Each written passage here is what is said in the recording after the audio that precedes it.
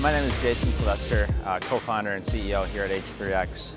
Uh, we specialize in very power-dense integrated motor drives for electric aircraft, but also marine propulsion solutions. So these are our three products that we have right now. Uh, this is our HPDM 250, our flagship product. It's a 200 kilowatt continuous integrated motor drive in a package that weighs about 18 kilograms. This is our HPDM 30, uh, 30 kilowatt continuous integrated motor drive. And then this is the HPDM 3000, which is our 2.8 megawatt class uh, integrated modular motor drive.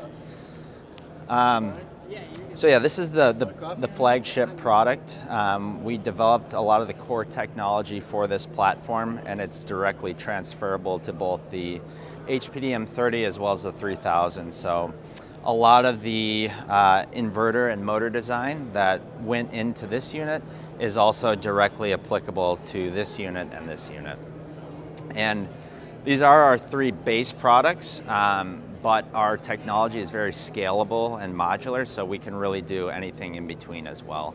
Um, it really just depends on what the customer needs specifically for their application.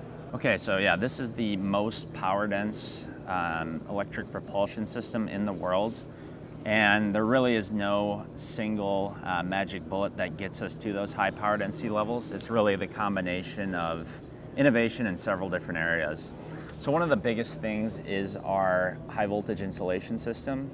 We've developed a novel um, high voltage insulation uh, for our motor windings that's about it's about 10 to 12 watts per meter Kelvin uh, thermal conductivity through the slot. You look at conventional systems, they're right around uh, one to two watts per meter Kelvin. So that high thermal conductivity allows us to extract heat from the windings uh, a lot more efficiently.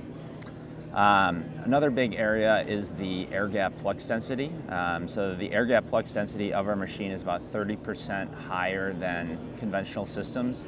And what goes into that is um, our topology and the electromagnetics design as well as the materials and manufacturing in the stator and rotor stacks themselves.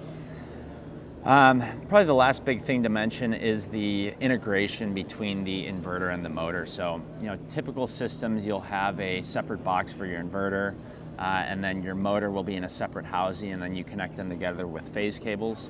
Uh, what we've done is combine the inverter inside the unit and integrated it with the motor. So you eliminate a housing, uh, you eliminate a cold plate for the motor or the inverter, and um, you eliminate the cabling and connectors that go between the inverter and motor typically.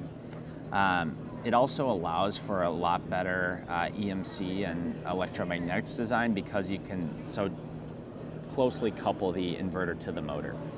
Okay, so yeah, one of the big differences between the HPDM 250 and the HPDM 30 is that instead of radially packaging the power electronics, we um, take them and mount them axially to the machine. So the inverter in the HPDM 30 is about a about the size of a hockey puck, and it's capable of 120 kilowatts. So if you did want to make a 120 kilowatt machine, you could extend the stack length, use the same inverter module, and you would have a uh, 120 kilowatt machine that's approximately the same diameter but about maybe double the length of this. If you guys want to learn more um, or if you're interested in using the motor in your vehicle, um, you can go to our website h3x.tech um, and uh, there's a contact us form on there and you can reach out to us there.